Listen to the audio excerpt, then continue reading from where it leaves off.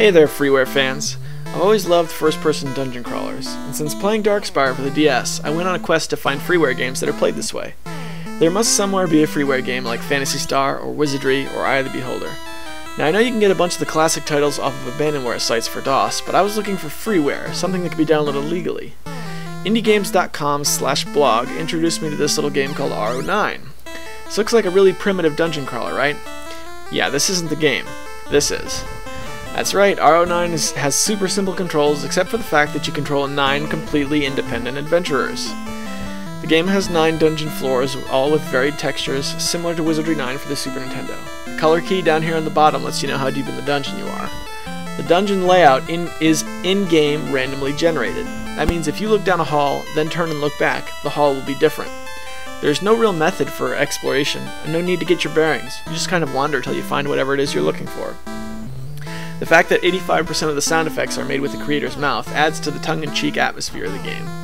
You fight monsters by continuously pressing the up key, but you gotta be careful about that because while you're fighting, the rest of your adventurers are pressing onward. It can be a problem if one of your guys finds a ladder and accidentally goes down too deep in the dungeon. Then the high-level monsters are gonna beat him like he stole something. You do actually level up. Each of the character's levels can be measured with these single pixel badges. Also, the borders of each screen will turn more and more red, signifying how much damage has been taken. There are three monster types per level. Humanoids are easy, animals and creatures are hard, and the bosses are the hardest. There's one boss per person per level.